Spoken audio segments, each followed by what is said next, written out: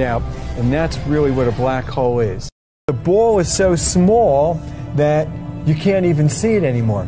And that's really what the idea of a black hole is, is that the space-time is curved, but the mass that's curving it is so small that you can't even see it. Another way to think about it is this. Watch, if the planet rolls around up here, it goes a certain speed. If the planet rolls around down there, it's going faster. As a matter of fact, it goes faster and faster and faster and faster as you get closer and closer and closer to it. If you were to have a star, you know, you can only get so close to the four pounds because the, the star is in the way, and so it'll only go so fast. But if you don't have that star there, it'll go faster and faster, and if it goes faster than the speed of light, that's when it drops through that hole.